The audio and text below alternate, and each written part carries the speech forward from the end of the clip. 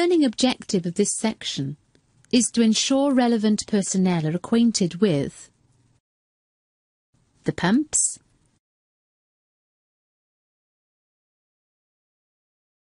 the piping system, the stripping system,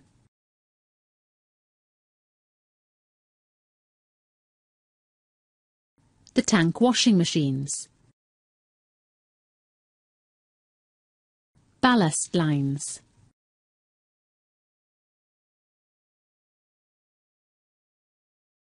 The pump supplying crude oil to the tank cleaning machines must either be the cargo pumps or pumps specifically provided for supplying crude oil to the tank cleaning machines.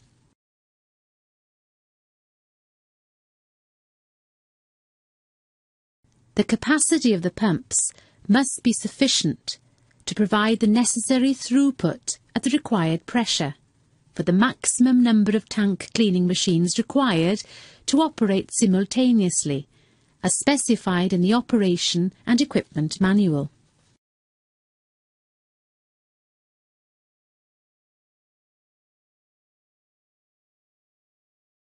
In addition to the above requirement, the pumps shall, if an eductor system is fitted for tank stripping, be capable of supplying the eductor sufficient driving fluid so that the bottom of the tank, being cleaned, is kept free of accumulations of oil and sediments towards completion of the tank washing process.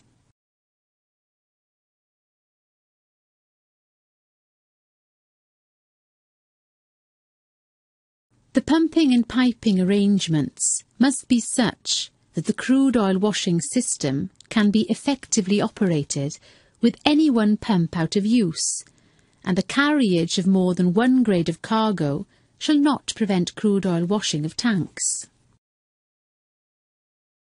The two main principles for oil supply to the crude oil washing system are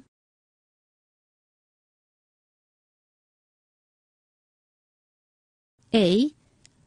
Bleed off from the mains.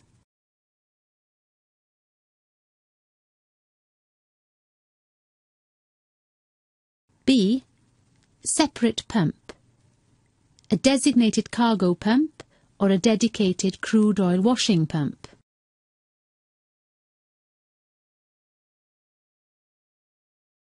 The minimum supply pressure required for crude oil washing shall be specified in the Operation and Equipment Manual.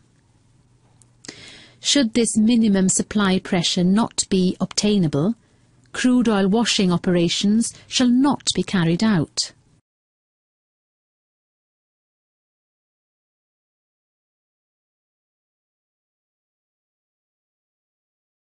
The crude oil washing pipes and all valves incorporated in the supply piping system shall be of steel or other equivalent material and shall be of adequate strength as regards the pressure to which they may be subjected and shall be properly jointed and supported.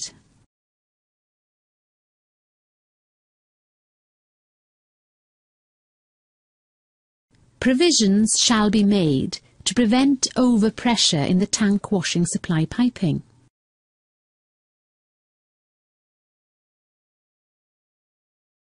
Where hydrant valves are fitted for water washing purposes on tank washing lines, all such valves must be blanked off by blank flanges when washing lines may contain crude oil.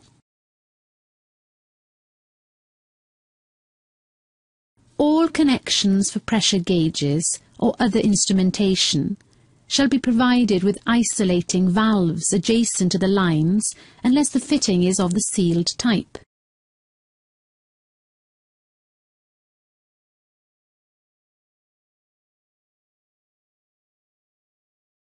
No part of the crude oil washing system shall enter the machinery spaces. Where the tank washing system is fitted with steam heater for use when water washing, the heater must be effectively isolated during crude oil washing by double shut-off valves or by clearly identifiable blanks.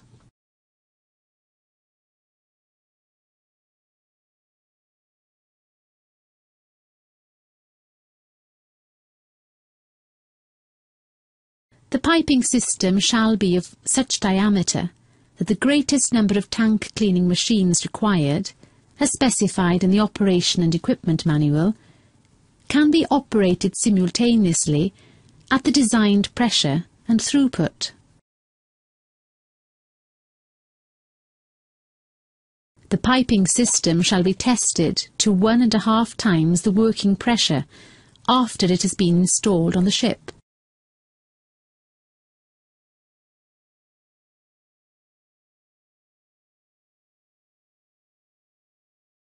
The crude oil washing supply piping shall be anchored to the ship's structure at appropriate locations, and means shall be provided to permit freedom of the movement elsewhere to accommodate thermal expansion and flexing of the ship. The tank washing machines for crude oil washing shall be permanently mounted.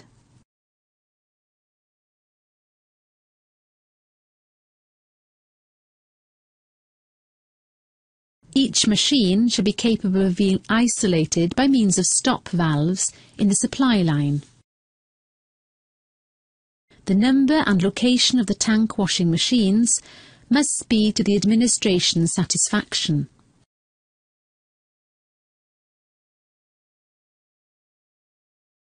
The number and location of the machines in each cargo tank shall be such that all horizontal and vertical areas are washed by direct impingement, or, effectively, by deflection or splashing of the impinging jet.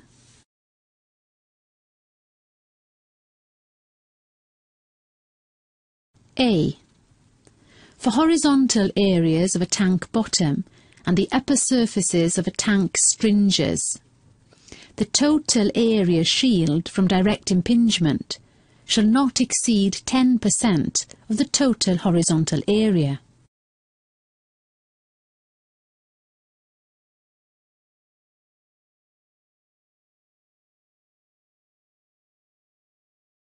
B. For vertical areas of the sides of a tank, the total area of the tank's sides shielded from the direct impingement shall not exceed 15% of the total area of the tank's sides.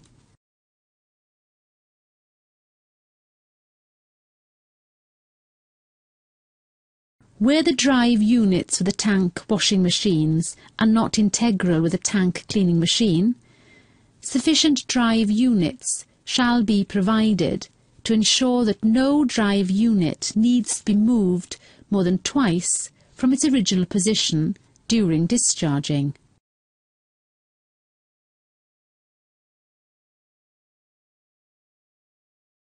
The design of deck-mounted tank washing machines shall be such that means are provided external to the cargo tanks, which, when crude oil washing is in progress, would indicate the rotation and arc of the movement of the machine.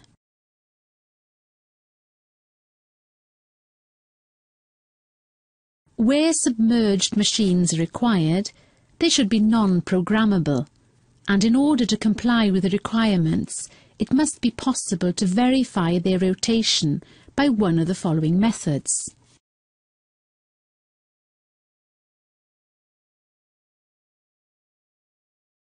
A.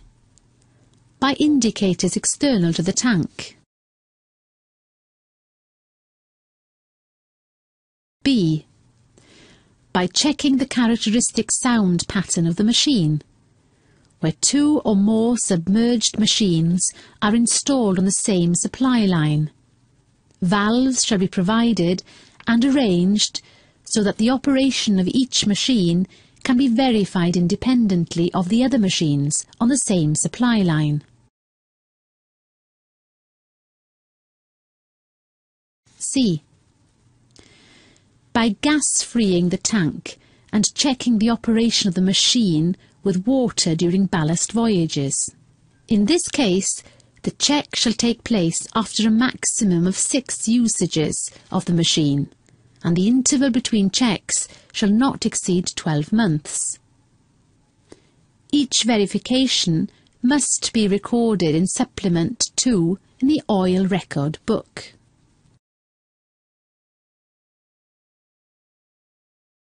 The method of verification shall be stated in the Operations and Equipment Manual.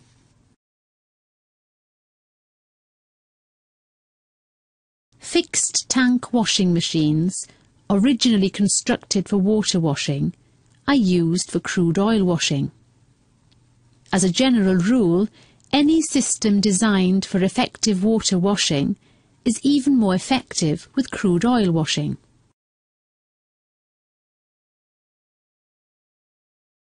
Single nozzle machines.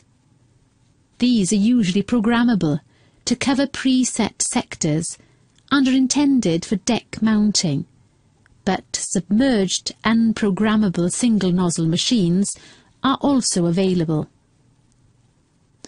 Washing with programmable single nozzle machines is performed in one, two or three stages. Single stage or multi-stage.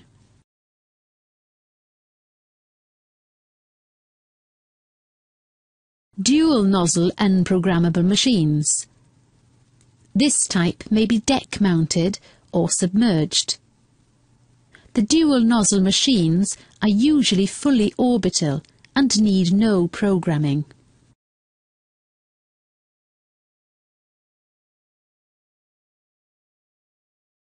A programmable single nozzle machine, the nozzle is rotating in the horizontal plane combined with a very slow vertical movement.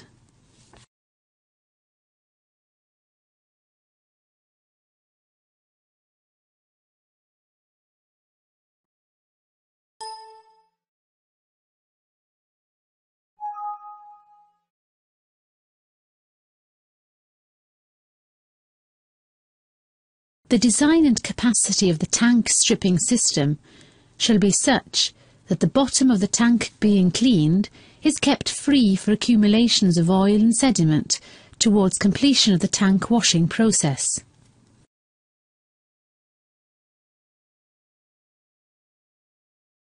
The stripping system shall be capable of removing oil at a rate of 1.25 times the total throughput of all the tank cleaning machines, to be operated simultaneously when washing the bottom of the cargo tanks.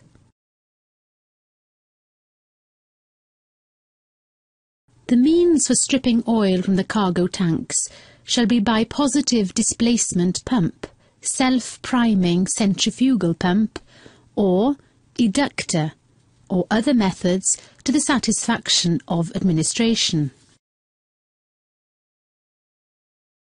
An oil tanker must be provided with a separate stripping pump. This stripping pump may be connected to the ordinary line system or be supplied with its own line system. Means shall be provided to drain all cargo pumps and lines at the completion of cargo discharge, where necessary, by connection to a stripping device. The line and pump draining shall be capable of being discharged both to a cargo tank and ashore.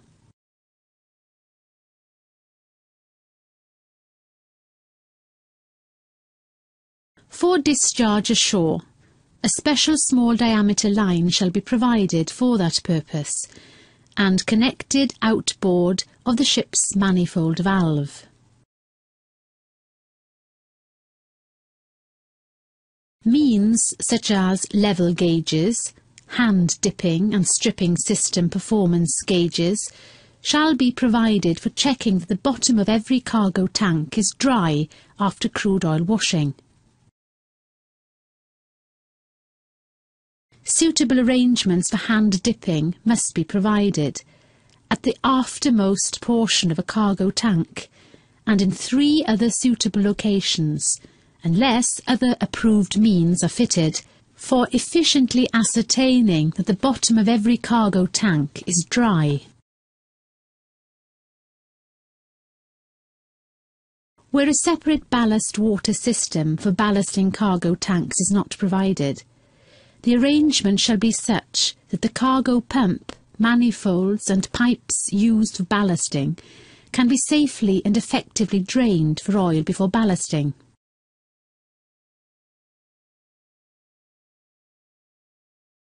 The training requirements of ship's personnel engaged in crude oil washing shall be to the satisfaction of administration. Where a person such as the master, the chief officer, or the cargo control officer assumes overall charge of a crude oil wash, he shall,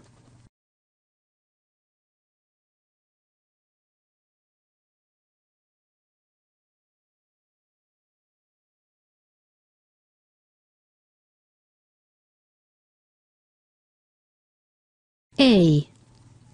Have at least one year's experience on oil tankers, where his duties have included the discharge of cargo and associated crude washing. Where his duties have not included crude oil washing operations, he shall have completed a training programme in crude oil washing in accordance with specifications and to the satisfaction of administration.